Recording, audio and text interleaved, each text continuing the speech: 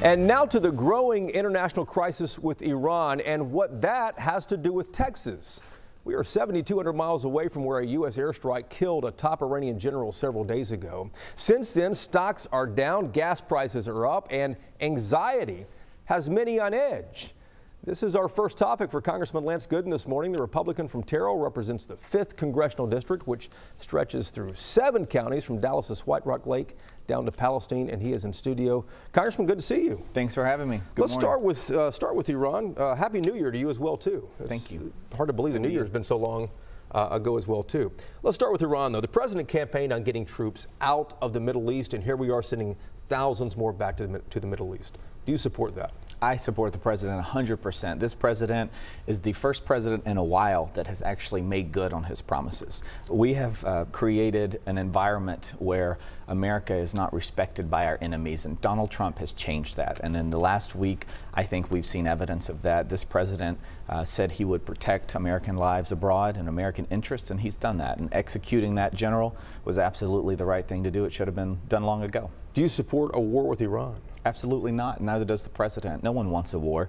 I don't even know that Iran wants a war. Um, but I think uh, we're getting to the point where Iran is going to have to make decisions about uh, what they're going to do next. They have limited options. The regime there in Iran is losing support. There are uprisings. Uh, just a few months ago, hundreds of their own citizens were actually killed by this regime uh, because they're so worried about losing power. So uh, that's something to watch uh, as the days move on. But they're, they're worried over in Iran about how they're going to respond and make good on their promise uh, to strike back, knowing that there will be further consequences. But what is a likely retaliation, do you think? Cyber attack, or is it attack on a Maybe, foreign military um, base, or what? In the last few hours, I believe, the uh, Iranian government has said that their intention is to attack uh, military, uh, uh another military attack on us. Um, but again, their options are limited because of the weak support at home uh, for that Iranian regime. Well, let me ask you about this. W with everything, there's nothing that's black and white. Mm -hmm. um, what happens if Iraq expels the U.S. military from you know, the country over there. W wouldn't that put us at a disadvantage in fighting Iran or in fighting the Islamic State, which remains a threat today? Sure. There's a lot of bad things that could happen. Um, but one of the worst things I can think of uh, would be to do nothing and let people or let countries, terrorist sponsors, continue to just march all over us, which is what they have done for years. Uh, the reason this general was stepping off a plane at the Baghdad airport so freely is because he'd done it for years. Uh, most terrorist leaders like him uh, fly under the radar, but this one for years brazenly just flew around the world knowing uh, that there were no repercussions. And this was, uh, this was enough for for the president to say this this can't continue to happen. And these attacks on the embassy a few weeks ago, the attack on the contractors, they started all this. The president wants to end this, and he said, um, "Let's take some action." And I'm happy he did. Let, us shift gears and talk about impeachment. The House mm -hmm. Speaker Nancy Pelosi has not said. It seems like old news, doesn't it? it? It has been a long time. There's a lot that's happened between then, but the Speaker has not said when she'll send over the articles of impeachment to the Senate the Senate must consider it, but does, does, the Senate have any options while it's just kind of hanging in limbo here? Yeah, one of the great options, uh, which is why I'm just thrilled for her to sit on as long as she wants, is that Senator McConnell uh, can continue to push through nominations of all these judicial uh, conferees. Uh, the president has a lot of names out there, and I suspect you'll see throughout the month of January the Senate will be confirming uh, judicial nominees if Speaker Pelosi chooses to sit on uh, the impeachment articles. But I think the big issue uh, with these uh, with this question about what is the speaker going to do is who cares.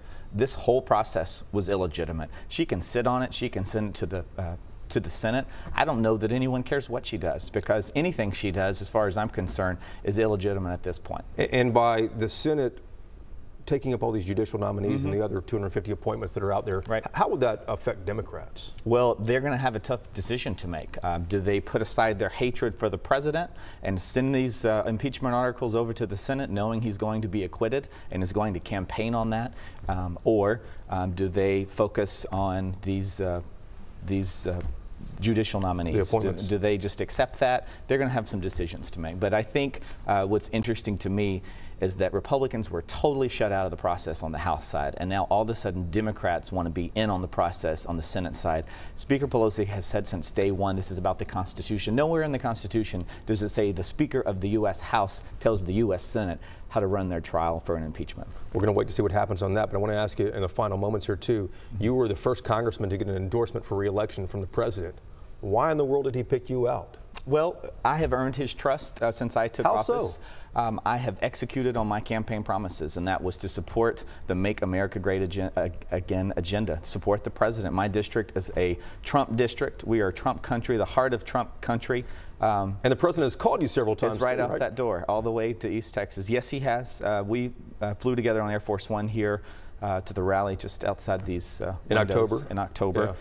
And really uh, got to know each other, and we've spoken several times since then. He called me the day after my father passed in December, and he's a wonderful man. Wow, sorry to hear about your father, and um, congratulations on the uh, successful first term, it sounds like, Thank and you. Happy New Year to you as Thank well, you. too. Same to you. Congressman Thank you. Lance Gooden, the uh, congressman from the 5th Congressional District from Dallas's White Rock Lake all the way down to Palestine. Thank Thanks you. for coming in. Thanks.